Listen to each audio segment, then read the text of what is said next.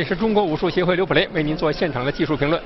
下面进行的是一百公斤以上超重量级的自由搏击比赛，红方是来自白俄罗斯的安德雷，蓝方是荷兰的阿什温巴尔拉克。比赛马上开始。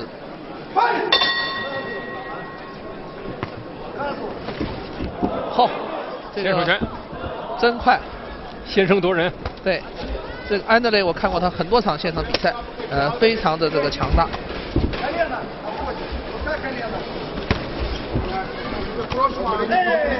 他的膝是非常厉害的，这个我觉得如果他能够赢，今天可能会赢在这个膝上。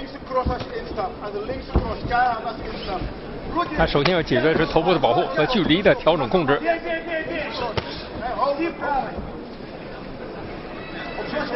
呃，红方选手呢，把自己那个身高臂长的优势啊，充分的得到了展示和发挥。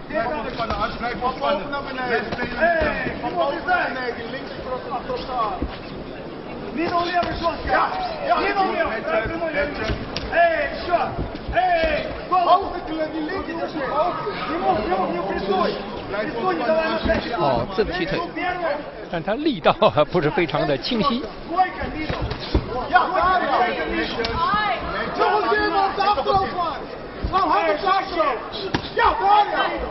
哦，安德烈因为头部保护的很好，这个哦，找到感觉了。对，阿什温打的很好，这这一段主动的压迫式进攻。呃，正如你刚才所担心的那样，就是他这个大开大合的时候，对方的这个膝法呀，有可能是一路中门呐。对。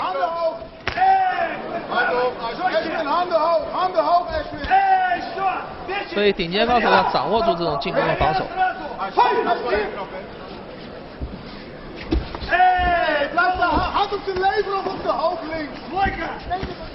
哦，这个后手拳，后手拳，他正蹬腿，这是。哦，这腿也很重，但是呢，就是距离感有时候没有完全把握住。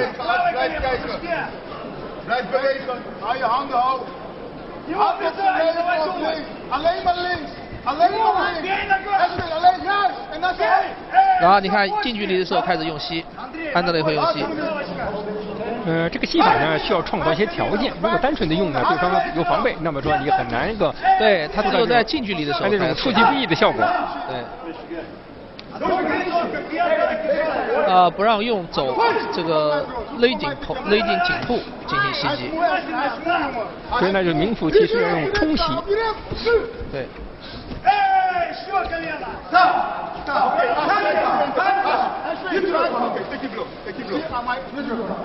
对，看来是出了一些状况。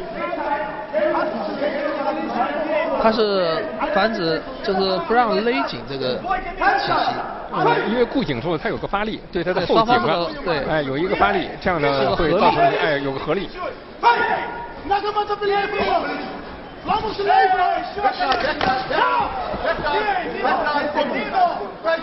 呃，南方选手呢打的还是比较潇洒，嗯，尽管呢从场面上看他现在还有点被动。这个可能打到裆部，呃，好像是一个膝撞的动作。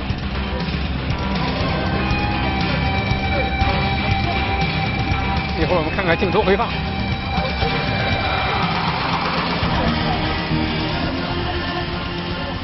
看一下，啊，这个，呃，其实这是应该是个犯规的动作，这个顶的有点偏低了一点。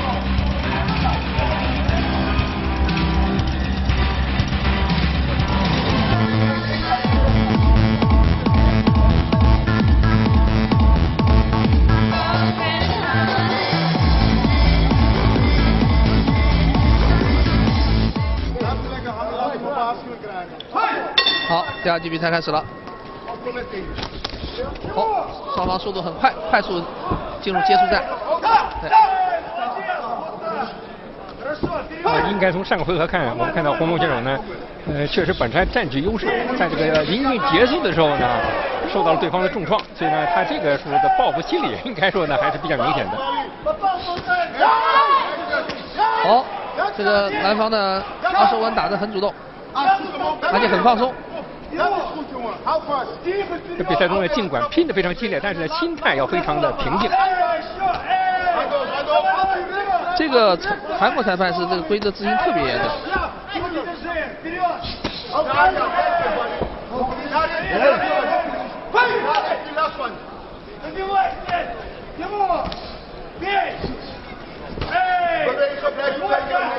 呃，双方在距离调整方面都需要一些弹性。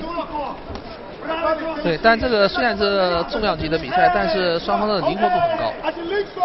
应该说呢，他们的这个场上的移动和这个变化真假虚实的这种调整，呃，还是比较高的水平，确实得到了很好的体现。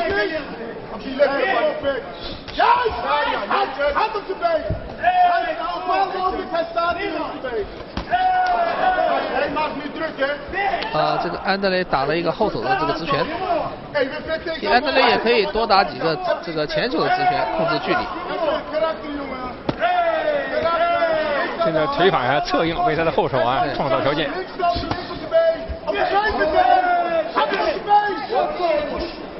这南方选手啊频频低头啊，对他来讲呢这是一个不祥之举。啊，有危险，特别是安德烈身材比较高，他的膝可以直接上头。如果你再低头的话，就更危险了。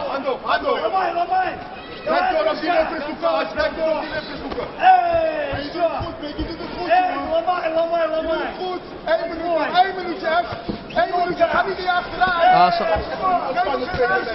现在是红方选手呢占据了场上的主动。对，红方选手一直打的是比较进攻的。但蓝方选手在有一段也打得很主动。啊，这段时间我们看到这个红方选手打的比较聪明。他不是一味的猛攻。这个蓝方选手的基础还是挺有效的，这个后手的他基打内部的这个还打得挺好。危险！你看到刚才啊势大力沉的红方选手那个塞锤啊，应该说还是有相当大的这种摧毁的。这个蓝方选手这个红方选手这个右边的内部是他的一个空档，很容易被击中。机会来了。钟声啊，打得很激烈，双方这个你来我往，啊，双方教练都很着急，在底下大声的这个呼叫。呃，旁观者清，所以场外的教练员呢看的是清清楚楚，但是在场上呢确实是置身其中啊，很多事情呢是当局者迷。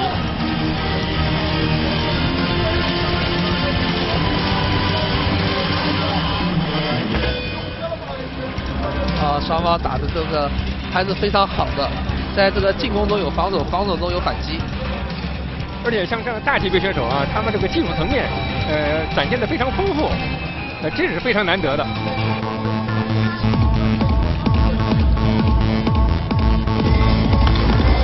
宋杰经常可以给我奉献这种超大级别的比赛，非常难得。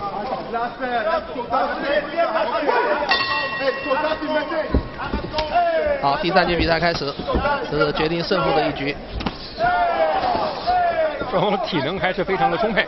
对，这个欧洲选手的话，我觉得这这个非常好。他们打到第三局一般还在压迫的进攻。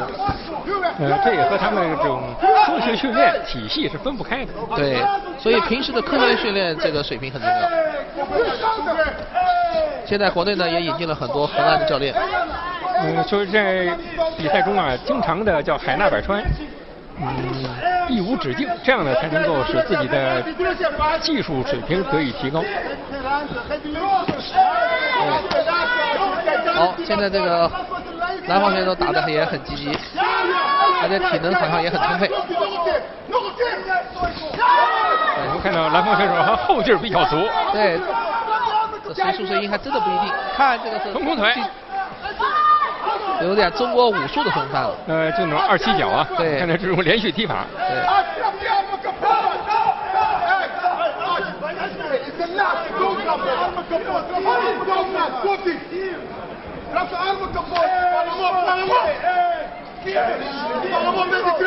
打到目前为止，第三个回合临近结束，我们看双方的进攻频率啊，确实还是相当的高。对。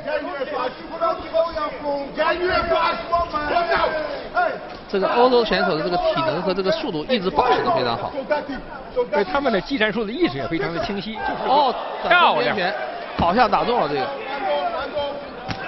又是一拳，还有有效，这得势不饶人啊！这个时候我们乘胜追击，扩大战果。有点乘胜追击的意思了。刚才好像是打中了这个第一个这个转身边拳，但是时间不多了。哦，这个这一拳也很重，这一拳打中了。这几天安德雷打出了很高水平的重拳，关键时刻了，看能不能顶住。对。这几次重击啊，对，蓝方选手虽然没有被击倒，但是他这个心理还有他的整个这个状态，确实还受到了严重的震撼。啊，状态受到了重创，非常明显。对，你看他现在这个主动进攻明显变少了。嗯，但是呢，就他这个反击的意识啊，确实还是非常的清晰，他不放弃任何反击的机会。转身变锤，假动作。啊，这个。一百公斤以上的这么扁身转身的边拳打的依然这么流畅，而且这个真假虚实的应用啊，确实还是在这个比赛中得到了很好的展示。也是高边腿的反击。哦，这双方打的真好，啊，非常好。你看，展开了蓝方选手一点也不示弱。啊，最后时段还可以反击，对。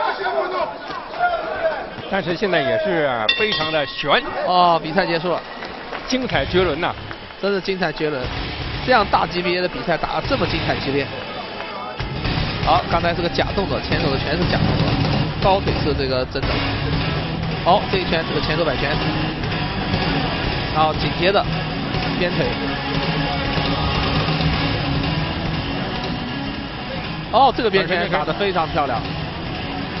这个边前一回可以再看一下，非常的漂亮，看，完全击中了。呃，因为我看到侧身的时候啊，他实际上呢，用自己目光的这个余光啊，进行了评估。这都是几个精彩绝伦的动作，对，堪称典范。刚才这个边前居然是打假动作。本场比赛的结果经过裁判裁定如下：三位裁判一致判定，三十比。二十八比赛结果，红方胜，and the winner is the red corner。掌声祝贺安德烈，再一次证明了他在昆仑决上保持的全胜纪录。有请我们的颁奖嘉宾，全国人大代表、北京河南企业商会会长、天明集团创始人江明博士，为获胜的安德雷颁奖。Ну, хороший, нестандартный и неудобный. Uh, not easy and uh, very not standard fighter. Very complicated. Очень не мило, наверное, в третьем раунде захотел сильнее будет. Because uh, he win because uh, in third round he want more.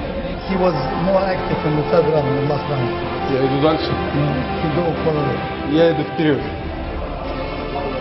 yeah, the fight for me was an easy fight. My corner told me just, just kick him hard, so I did it. I thought I was winning the fight or extra round, but they gave it to him. Maybe I think because he's the champ and everything, but he didn't hit me at all. No. Hard fight. Hard for him, not for me. I saw him. If you see his body, it's over here red everywhere. Cool fight. You saw this, huh? I'll be back.